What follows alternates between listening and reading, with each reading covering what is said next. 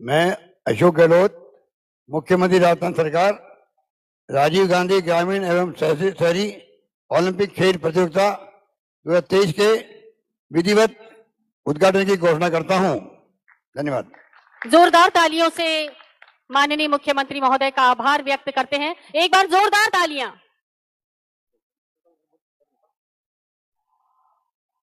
और आइए राजीव गांधी ग्रामीण और शहरी ओलंपिक खेल 2023 के इस आयोजन की मेजबानी हम कर रहे हैं। हम सबके लिए गौरव का अनुभव। इन सभी खिलाड़ियों का हम स्वागत करते हैं और मशाल मशाल की लौ की जगमगाहट इस खेल की दुनिया का आगाज़ कर चुकी है और इस मशाल को लेकर आ रहे हैं सपना पूनिया और खुशी रणवीर से हैं। आप माननीय खेल मंत्री जी को और कृष्णा पूनिया जी को ये मशाल सौंप रहे हैं और माननीय खेल मंत्री जी और कृष्णा पूनिया जी ये मशाल माननीय मुख्यमंत्री महोदय को सौंप रहे हैं। इसके साथ ही आगाज़ हो चुका है राजीव गांधी शहरी और ग्रामीण ओलंपिक खेल 2023 का। एक बार जोरदार तालियों से आप अपनी उपस्थिति दर्ज कीजिए और ढोल नगाड़ों के साथ उद्घाटन की घोषणा तो आप सोच सकते हैं कि प्रतिभा की कमी नहीं है। इस सरकार ने फैसला किया है, युवाओं को कैसे प्रोत्साहन दें? और इसीलिए मैं समझता हूँ कि खेलों का जो जीवन में महत्व है, उससे कोई इनकार नहीं कर सकता है। खेल, खिलाड़ी खेलता है, उसमें वो क्षमता पैदा होती है, जो शायद वो खिलाड़ी नहीं बनेगा तो कभी ज़िंदगी में नहीं सीख पाएगा। तत्काल निर्णय लेने की क्षमता, दूरदृष्टि इच्छा शक्ति जीतने की, और कैसे वो खेल के मैदान में, खेल को खेल की भावना से खेल सके। इस प्रकार की भाव पैदा होना खिलाड़ियों के खेल के मैदान में, वो भी उनके व्यक्तित्व में निकाल लाता है। इसलिए हमने तय किया है इस प्रकार के प्रतिवर्ष खेलों का आयोजन हो, शहरी और ग्रामीण ओलंपिक। इस बार मुझे खुशी है, पिछली बार 30 लाख लोगों ने पंजीकरण करवाया। इस बार अट्ठावन लाख और अट्ठाईस लाख लोगों ने अपने पंजीकरण करवाया है। तो आप सोच सकते हैं कि इस कदर लोगों में उत्साह है, क्रेज है और अब आज के बाद में जब ये मैच शुरू होंगे, मैं समझता हूँ राजस्थान का नज़ारा अद्भुत होगा। अब राजस्थान का ये प्रयोग देख करके अन्य राज्य सरकारें भी देश के अंदर चर्चा कर रही है, जानकारी प्राप्त कर रही है।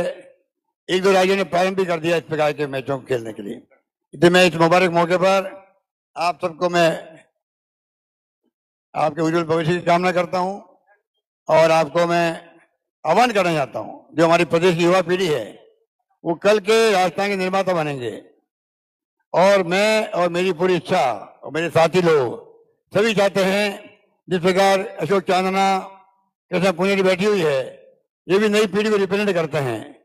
इस प्रकार से आने वाले वक्त में, जैसे मैंने बजट पेश किया था इस बार, पिछली बार मैंने किसानों को समर्पित किया, इस बार मैंने युवाओं को समर्पित किया था। आप सोच सकते हैं, युवाओं के बारे में सरकार की क्या सोच है? क्या क्या फैसले किए हमने? आप जानकारी प्राप्त करेंगे, जानकारी होगी, वरना आपको जानकारी प्राप्त करनी चाहिए, जिससे कि आप उन योजनाओं का लाभ उठा सकें। चाहे वो कोचिंग के लिए अनुप्रति योजना हो, या पाँच सौ छात्रों को विदेश के अंदर पढ़ाई करने के लिए, सरकारी खर्च पर, युवाओं के लिए अनेक योजनाएँ प्रारंभ की गई है। लगभग तीन लाख सरकारी नौकरियाँ दे रहे हैं हम लोग। प्राइवेट सेक्टर को हम लोग प्रमोट कर रहे हैं। मेगा जॉब फेयर लग रहे हैं, सौ एक साथ में राजस्थान के अंदर। उसमें अभी तक पच्चीस तीस लोगों की नौकरी लग चुकी है। तो चारों ओर से हम चाहते हैं राजस्थान युवाओं का मनोबल ऊँचा रहे कॉन्फिडेंस रहे, ज़िंदगी जीने का आगे बढ़ने की ललक रहे और कोई तरह की हताशा मन में नहीं आए।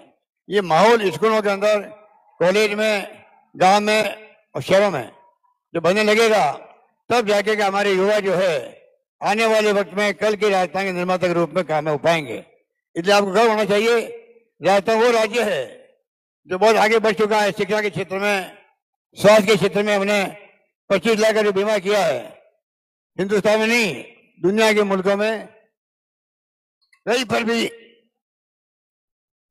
कहीं सुना नहीं होगा आपने किस प्रकार से राइट टू हेल्थ एक्ट बना दिया है, वो भी एक बड़ी बात है।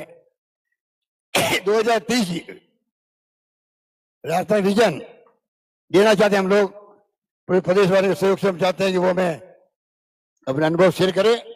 2030 तक राजस्थान नंबर वन नहीं आए देश के अंदर तो नंबर वन की श्रेणी में जो राज्य हैं, उस श्रेणी में राजस्थान आगे खड़ा हो जाए।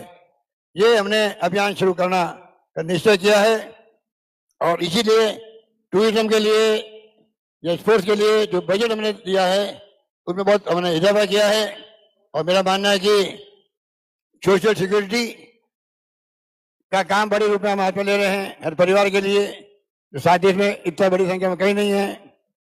मैं आपको आह्वान करना चाहूँगा, अपने जीवन के अंदर स्काउट गाइड है, एनसीसी है, एनएसएस है, या सामाजिक संगठन है, आप स्वयं बनाए बने उनसे जुड़े आप लोग।